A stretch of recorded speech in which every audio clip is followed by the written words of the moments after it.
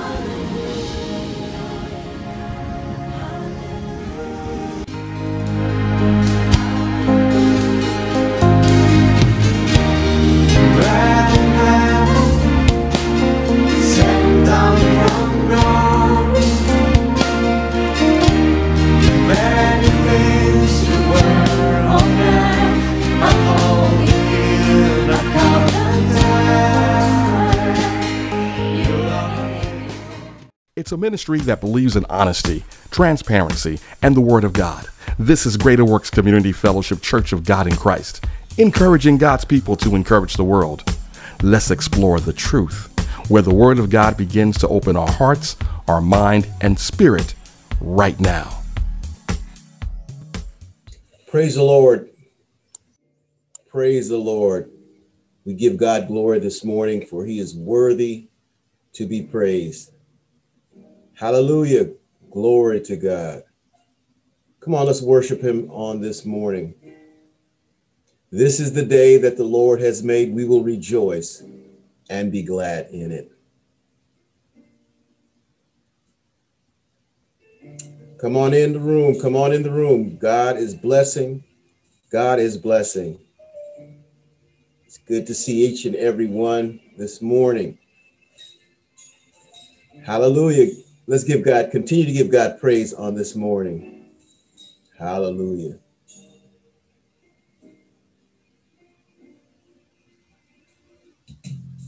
Let's worship him. Let's praise him. The praises all belong to him. And because of that, I am eternally grateful. So we're going to lift him up. We're going to give God praise on this morning for this fleeting moment. Amen and amen. Hallelujah. Thank you, Jesus. Glory to God.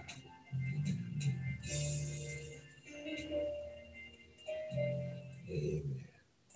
Praise God. Praise God. I thank God for being here today. I thank God for blessing uh, we serve a mighty God, and He's great and He's greatly to be praised.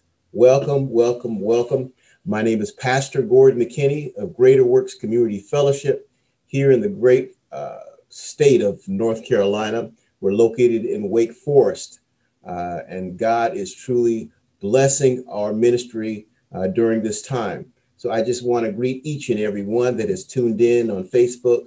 Uh, we just welcome each and every one of you and prepare for a message that will I'm sure that will bless you because I do have a word from the Lord on this morning. And so this morning, uh, let's open up in a word of prayer. Heavenly Father, we thank you for this time. We thank you for all that you're doing. And God, we ask that you bless uh, this word on this morning, bless your people on this morning, and have your way in our lives. God, we ask that uh, whatever we're going through, allow us to pause during this time and reflect on your goodness and reflect on your mercy. God, whatever issue that we're we're having problems with, God, allow us to know that you are the solution to all our issues, to all our problems. And we know that you can solve each and every thing that we may have that's on our hearts on this morning. So for that, we lift you up and we magnify your name.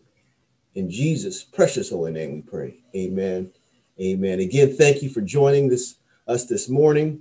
And let's go, go ahead and get into the word of God on this morning. This morning, I'll be reading from the Gospel of Luke, first chapter 46 through 55. Praise God. And it reads And Mary said, My soul magnifies the Lord, and my spirit has rejoiced in God, my Savior, for he has regarded the lowly state of his maidservant, for behold, henceforth all generations will call me blessed. For he who is mighty has done great things for me, and holy is his name. And his mercy is on those who fear him from generation to generation. He has shown strength with his arm. He has scattered the proud in the imagination of their hearts. He has put down the mighty from their thrones and exalted the lowly. He has filled the hungry with good things, and the rich he has sent away empty. He has helped his servant Israel and remembrance of his mercy, as he spake to our fathers, to Abraham, to his seed forever. God, we thank you for this word. We ask that you bless in a mighty way, oh God. And God, we just continue to lift you up and continue to magnify you on this morning. In Jesus' precious name, amen. Amen. Today I'm going to talk about to magnify the Lord. To magnify the Lord. As you know, this is, uh, we're getting into the Christmas season, the Advent season and it's a special time of year. You can feel it in the air. You can feel that the, the anticipation of the celebration of the Christmas, uh, the day that we celebrate Christ's birth. And so during this season, I just want us to focus on what this season is all about. Uh, as you know, the season has been mixed up in commercialism and, and buying gifts and, and stores trying to meet their bottom line, trying to uh, get from being in the red to the black. Uh, but Christmas is much more than that. As a matter of fact, Christmas has been used by the enemy to steer us away from the true meaning of this time of year, the true meaning that why we pause during this time, because we want to acknowledge Jesus Christ. We want to acknowledge what God has done for us by sending his son, Jesus Christ. And so today, I want to focus in on this story, this narrative of Jesus Christ before he was born. This narrative in the scripture that I've just read from in, in the book of Luke is the story of Mary. Mary, before she buried our Lord and Savior, she had a, a trip and she traveled to see her cousin Elizabeth. And as she uh, encountered her cousin Elizabeth, both were pregnant. Both were bearing greatness within them. Yes, Elizabeth was bearing John the Baptist. He was the person that were is to tell the fact that Jesus is on his way. And Mary had our Messiah. So they both encountered uh, a, a, a, exchange prior to their delivery. And so, oh, what a wonderful time that was. They were able to fellowship together. They were so high with expectations. And so, out of this expectation, Mary uttered this song. Mary uttered this, this, this these verses to, uh, to in remembrance of the moment. And so here today, we're focusing on this, this song, this, this sonnet that Mary had because of the excitement that was in the air. This song is called the Magnificat. And in, the scripture, Mary sheds light on how to magnify the Lord. So come with me this morning as we go through the Magnificat. Come with me as we read uh, the, the, the joy that came out of Mary's soul as she was anticipating the arrival of Jesus Christ. So, as we look at this, there's some points I do want us to follow.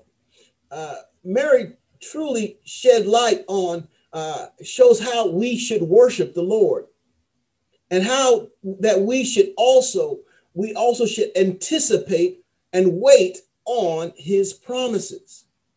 Mary, in her youth, she basically gives us a, a, a roadmap of how to, to worship God when we're expecting great things to happen in our lives. So let's go ahead and look at it. As we look at this, these verses, we must understand, we must worship God with great humility. Please note, we must worship God with great humility. Verse 48 says, For he has regarded the lowly state of his maidservant.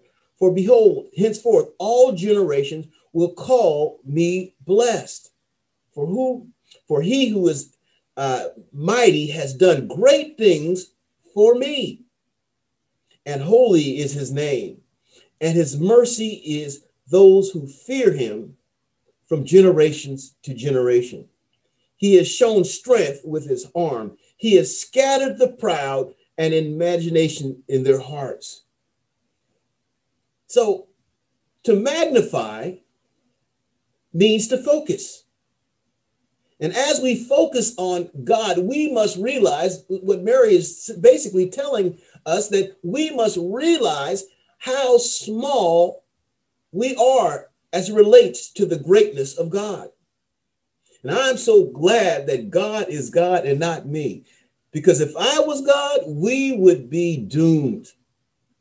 And I know that we know that we are just images of God. It's like a shadow puppet. I know as kids, we used to go and go next to a wall and have a light shined on our hands, and we'd make all kind of signs with our hands. And, and we know that we see images from the light on shine reflecting on the wall and we make a, a different bird and make it all different types of signs. And and it looks like a bird but it's not a bird. It's an image that we've created through the light that was shined on our hands. We too are images of god. We're not god.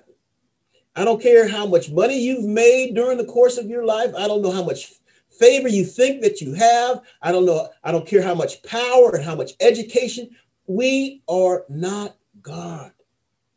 And so what we have to mind remind ourselves is that when we come to God, we must really come to God with humility because we are lowly. We are his creatures. He has created us. And Mary is coming to God in humility. He said he chose this humble maid servant. So she knows her station in life, but she also knows that God chose her to do great things. God will choose you as well to do great things.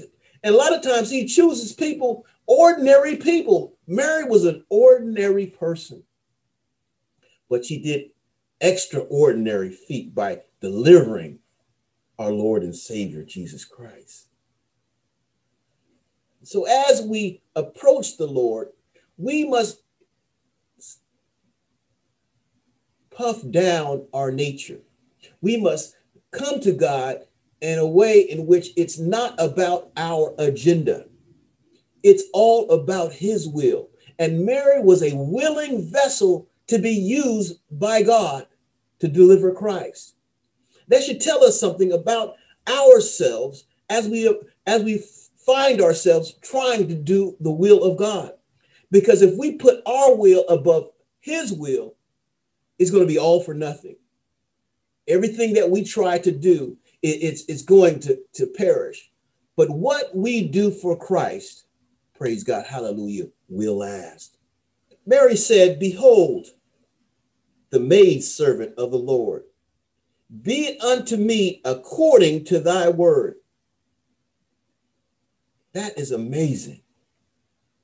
Maid servant. I'm a lonely, lowly position in life. And according to your word, uh, let it let it be according to your word. So what Mary is saying is, I want to wrap myself in your word, and whatever your word tells me to do, I will do it. And so we have to find ourselves to be at that place humble, willing, pliable. We are on the potter's wheel. We're being molded by the potter, allowing him to shape us, to mold us, to, to make us the way he wants us to be. And when we're at that place, great things will come from the vessel. Great things will come from the, the clay when you allow yourself to be placed on the potter's wheel. Secondly, I want thing I want to bring out in this text is that there is no social status when it comes to Christ. There is no social status when it comes to Christ. Verse 52 says, He has put down the mighty from their thrones, and He's exalted the lowly. He has filled the hungry with good things, and the rich He has sent away empty. Wow, that's prophetic right now in this time. It is amazing how we are seeing a evolution or a change, a revolution that's taking place.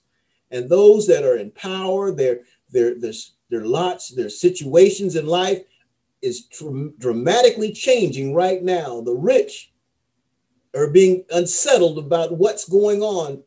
You see, Jesus, when he was here, he was always talking about the kingdom, and the kingdom is not like uh, the kingdoms of this world. He says something about the meek shall inherit the earth. And it's a pendulum switch that takes place when we're talking about the kingdom. And so we are, are here, Mary is talking about what God is doing. She's dealing with kingdom principles. The upside down nature and the right, the, the, the, the life of, of, of the believer and the, the life that we live as kingdom people, we have to understand that life is is is the low is set upon high and, and the high will come down. And so when we come to be servants of Christ, we have to understand that we're here just like Christ was here to serve. And we have to come to him humi- with humility. And we know that there's no social status. And you know, today, uh, especially with social media, one of the things that we all, especially those who are uh, constantly on social media, there are people that are making money, trying to make money, and they want to have followers, to subscribe, to do everything to make sure that their numbers are up. And, and, and what we find is that because of the social uh, media driven world, we, we, we're trying to be and trying to establish status. Uh, today, uh, if they, they call you an influencer, if you have over, uh, uh I'd say, 100,000 followers, or if you get to the million mark, you really get to a place where people, advertisers, give all they can to make sure that you advertise their product because they know that people are influenced by you. But you, as a believer, you are an influencer. You don't have to have millions and millions of people behind you. See, the social status does not make a difference when it comes to the kingdom of God. Your social status, all your social status needs is that you are a believer and you belong to King, the King of Kings, the Lord of Lords. And when you are connected with the King of Kings and the Lord of Lords, and you're connected to Jesus Christ, our Savior, you have all the status you need. You don't have to be a media influencer to influence the masses. And so here, Mary is saying that, you know, God is, is, is mighty. And, and, and, and he's so mighty, he has the ability to put down the mighty from their thrones. And he has the ability to exalt the lowly. There's a switch that's going on. We have to understand that God is totally in control of our situation. And because of that, we have status, not worldly status, but we have heavenly status. And Mary is tuning into her heavenly status because she was a maidservant chosen by God. You see, in the kingdom, there is no need for greed. There is no need for big eyes and little U's. In the kingdom of God, He just wants us to come to Him as a little child, free of baggage, free of racism, free of resentment and strife. He just wants us to come just with a loving heart. See, the, the problem with wealth is that wealth and possessions can end up possessing you. We see so many uh, people that spend their whole life accumulating things. There's a show on TV called Hoarders, and you can't even halfway go into some people's houses because they are so attached to the things that they've purchased during the course of their life. But see, we have to have an understanding that everything has an expiration date. As a matter of fact, we have an expiration date the things that we purchase has an expiration date. You can buy a brand new car, 2020 uh, truck, Chevrolet truck, but within the next two, three, as well, actually, as soon as you drive off that lot, that that car loses its value. We have to have an understanding. We can't put value on things. We put value on the King of Kings, the Lord of Lords. We put value on the God's will in our life and how we are to to project ourselves as it as we relate to those who we are among. You see, we we all, like I said, we all have an expiration date. And when that expiration date comes, we have to find ourselves doing and being involved in the will of God. Possession, things, they will all pass away. But when you invest your life in the things of God and Jesus Christ, that is eternal. Lastly, Mary realizes she was a the, the uh, recipient of a promise that was foretold through generations. And so, in this Magnificat, Mary pulls out the fact that God keeps his promise. Could someone say God keeps his promise? Could you type down God keeps his promise? I thank God because God will keep his promise. Verse 54 says, He has helped his servant Israel in remembrance of his mercy, as he spake to our fathers, to Abraham, to his seed forever. She is talking about the promises of Abraham and how the promises have passed down from generation to generation. Promises are very important.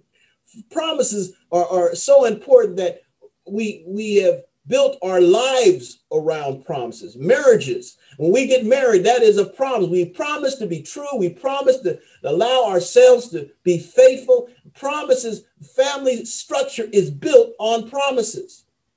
Contracts is a promise. Promise is so imperative, especially when it comes to the kingdom of God.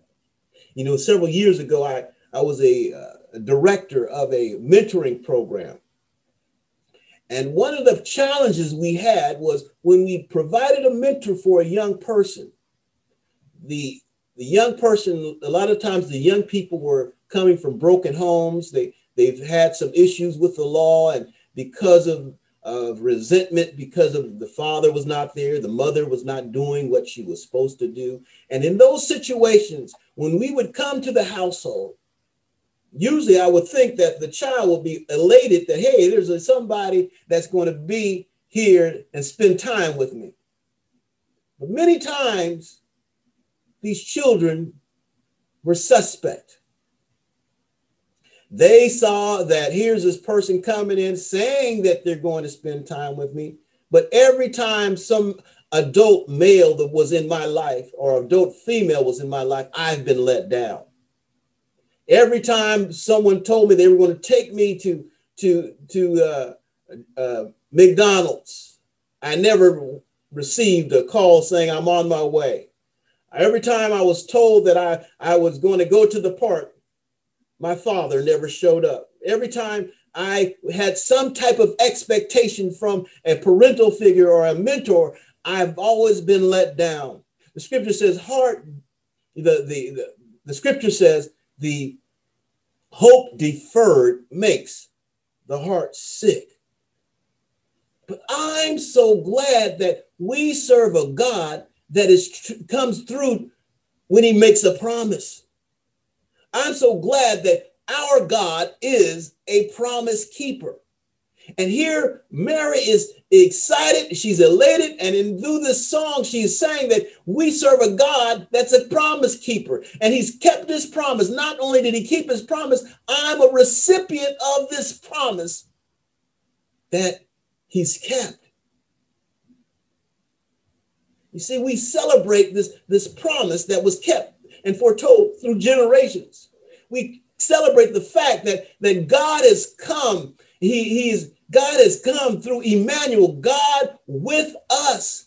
Jesus Christ's name, Emmanuel, means God with us. He kept his promises, and he's and he's he's not slack concerning his promises. Uh, Peter says in second in second Peter, we magnify God in our worship because he is God and that he is not slack concerning his promises, as some men count slackness, but is long suffering to us. As we celebrate this Christmas, this year we must magnify God in our worship. We must lift him up. We must exalt him. We must praise him and we must forget about ourselves.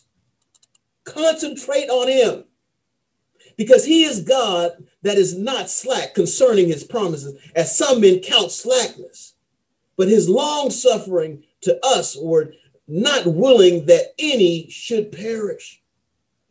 You see, the promises of God are yea and amen. God keeps his promises.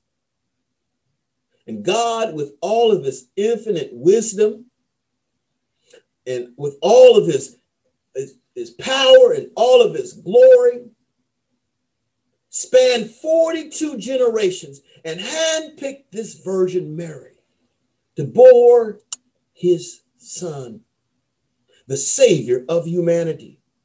Glory to God in the heavens, peace and goodwill toward men. And God delivered this sacrificial lamb to us. So to magnify God is to be humbly focused on God while remembering our life decisions are wrapped up in eternity. See, God loves us so that he kept his promising by giving his son to us. And by Christ and, and Christ's destruction, he was destroyed and he was humiliated, he was crucified, he was killed on the cross. And because of that sacrifice, we all become and we can become the joint heirs of him. See, he, through his promise, he promised that he was going to send a son to salvage humanity. God is a promise keeper. And that's what we celebrate on this, this during this season. His life, he, he allowed his, his life offered his life as a sacrificial lamb, destroying sin and sin's grip on humanity.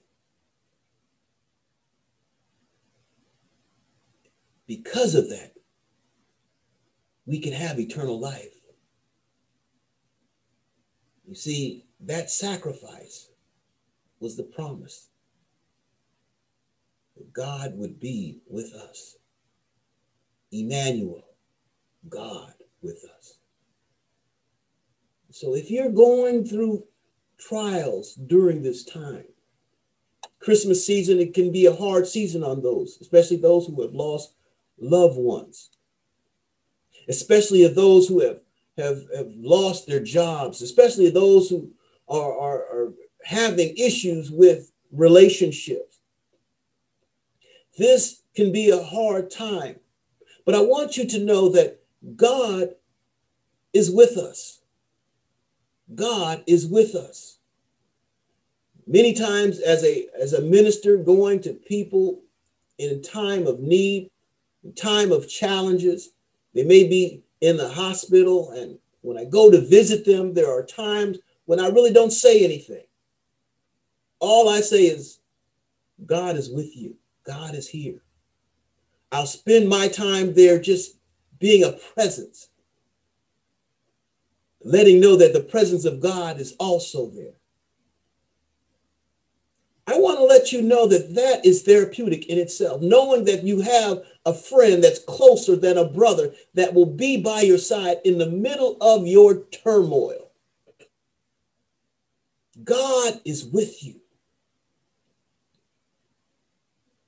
Scripture proclaims he will never leave us nor forsake us.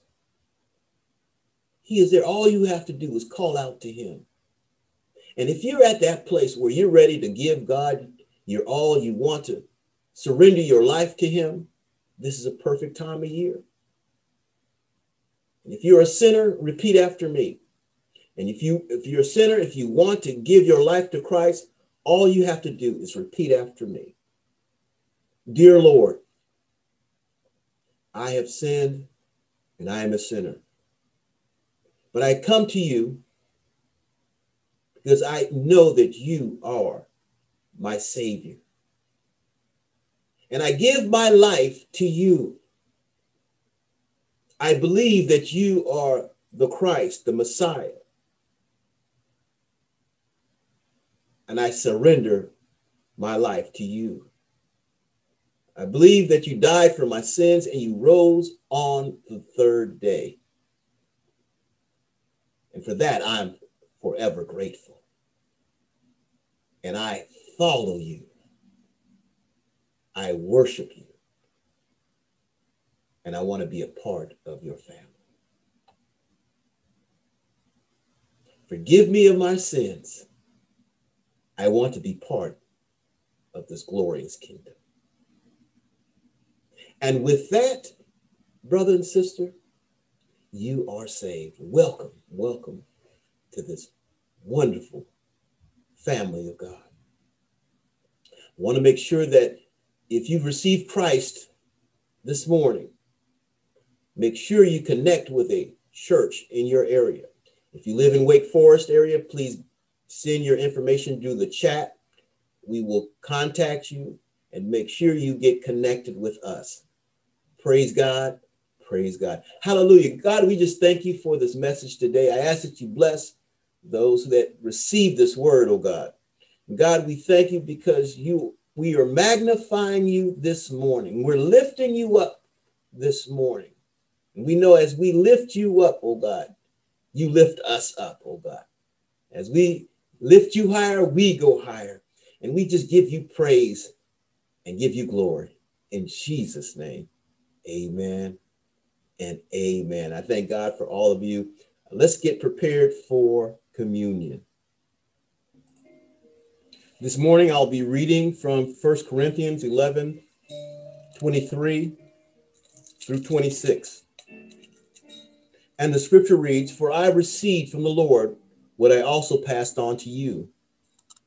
The Lord Jesus, on the night he was betrayed, took bread. And when he had given thanks, he broke it and said, This is my body, which is for you. Do this in remembrance of me. In the same way, after supper, he took the cup, saying, This cup is the new covenant in my blood. Do this whenever you drink it in remembrance of me. For whenever you eat this bread and drink of this cup, you proclaim the Lord's death until he comes. During this time, we are taking communion because we understand the power of its symbolism. You see, our Lord Savior Jesus Christ, on his last night with his disciples, had a very important meal. He explained to his disciples things that were to come. And he wanted them to remember the sacrifice. So, in that, he took the bread, said, gave thanks. With that, he took the bread, gave thanks, broke it, he said, This is my body that will be broken for you. Take, eat, eat all of it.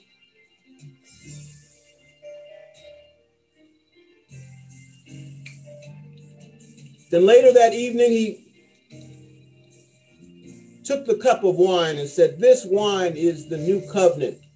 This is my blood that will be shed for you. Take, drink, drink ye all of it.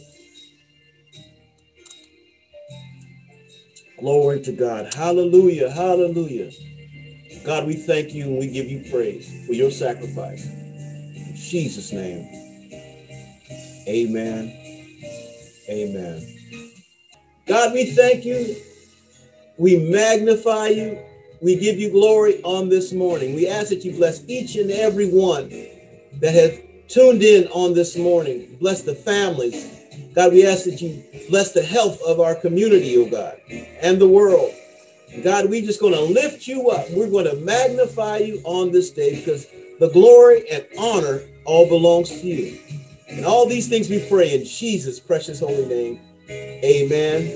Amen. I pray that you have a wonderful week. God bless you. We praise God for you joining in with us on this morning. We pray that God will overtake you in your journeys this week. Be blessed. Take care. Have a good day. Thank you for watching Greater Works Community Fellowship Church of God in Christ. Hey, make sure to join us every Wednesday for Bible study on Facebook Live. Pastor Gordon McKinney is featuring a series on the focus of the family, a transparent, in depth look at God's families. Messy, not perfect, but full of purpose and ordained by God. Join us every Wednesday evening for this exciting series on Zoom at 7 p.m. And join us every Friday morning at 6 a.m. for our weekly prayer call. The number and code information are posted on our screen, and we encourage everyone to attend virtual Sunday Sunday School with us at 9 a.m. This quarter is being taught by our very own Sunday School Superintendent, First Lady Veronina McKinney, and it's so powerful and easy to follow her teaching of the Word, making Sunday School so exciting. And if you love what you hear and see, please support our ministry. Remember, we have various ways for you to give. You can give through Givelify. Just type Greater Works Community Fellowship. You can also give on Cash App. Just type in dollar sign GWCF Ministries. Finally, you can also pay through PayPal by going to our website at shalludo.org. There you will see the PayPal insignia. We encourage everyone to visit our YouTube channel at the Shalludo channel. You will find our ministry content on demand. Make sure to like it, subscribe, and share. Every time we upload new content, you will be notified so you can view all of our on demand messages. Music provided by Trumpet and Harp Music. This is a 2021 Greater Works Community Fellowship production. All rights reserved.